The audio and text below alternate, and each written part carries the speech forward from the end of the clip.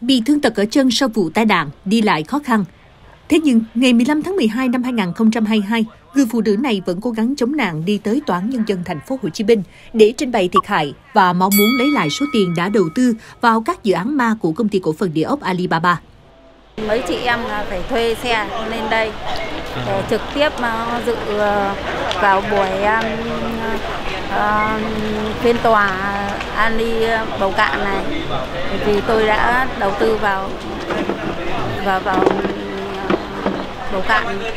đi vừa sai tôi uh, yêu cầu là trả tôi toàn bộ số tiền gốc và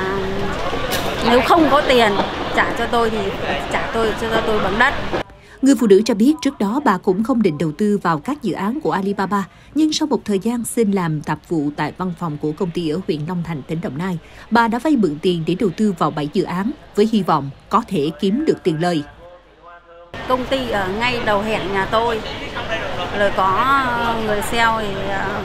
à, mời tôi mua nhưng mà tôi không tin tập nên là tôi rồi họ mời tôi vào làm quét dọn vệ sinh nhưng mà rồi tôi cứ nên tôi nghe thì à, thấy à,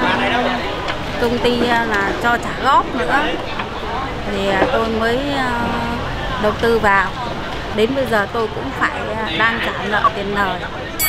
hàng tháng. Nhiều lúc chỉ muốn chết muốn chết đi thôi không sống nợ. Mình vay mượn mà chết thì không trả được nợ cho người ta lại người đời nó sỉ nhục mình tôi ráng sống cũng từng tin tưởng vào người học trò cũ, một cô giáo về hưu năm nay 76 tuổi đã bán thêm số vàng tiết kiệm để có tiền đầu tư vào các dự án ma mà Nguyễn Thái Luyện đã vẽ ra. Nó nói, nó nói con cũng có đầu tư vô, thì đâu đó nó nói cho mình nghe vậy tới chừng vô nộp tiền rồi này kia rồi. Thì nó cũng có đi với mình lên mấy lần nhưng cuối cùng tới đóng cửa nó cũng bí luôn nó cũng chẳng biết được đâu trả lời. Thôi thì giờ mình đã lỡ vậy rồi thì cứ chờ nhà nước giải quyết thôi. Mình chỉ nghĩ là à thôi thì đầu tư một chút để mỗi tháng có thêm chút tiền đắp vô cái tiền lương ai về đâu mới được cái chút xíu cái kẹt cái cách Ngày 15 tháng 12 năm 2022, sau một ngày tạm nghỉ, Tòa án Nhân dân thành phố Hồ Chí Minh tiếp tục thẩm vấn người bị hại trong vụ án lừa đảo chiếm đoạt tài sản, rửa tiền xảy ra tại công ty cổ phần địa ốc Alibaba liên quan bị cáo Nguyễn Thái Luyện, Chủ tịch Hội đồng Quản trị kiêm Tổng Giám đốc điều hành công ty và 22 đồng phạm. Rất đông bị hại đã có mặt làm thủ tục tham dự phiên tòa. Hầu hết những người này đều mong được nhận lại tiền đã đầu tư. Trong khi đó, một số bị hại vẫn khăng khăng muốn nhận lại đất nông nghiệp tại các dự án mà Nguyễn Thái Luyện vẽ ra như hợp đồng đã ký với công ty Alibaba.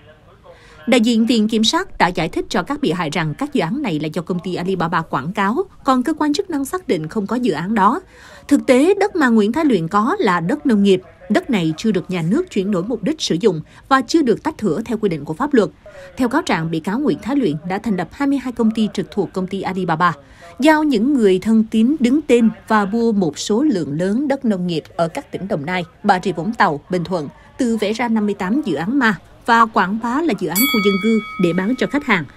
Cáo trạng buộc tội Nguyễn Thái Luyện và đồng phạm đã lừa đảo chiếm đoạt gần 2.400 tỷ đồng của 4.560 khách hàng. Trong đó, công an đã làm việc được với 4.065 nạn nhân, tương đương số tiền hơn 2.100 tỷ đồng bị chiếm đoạt.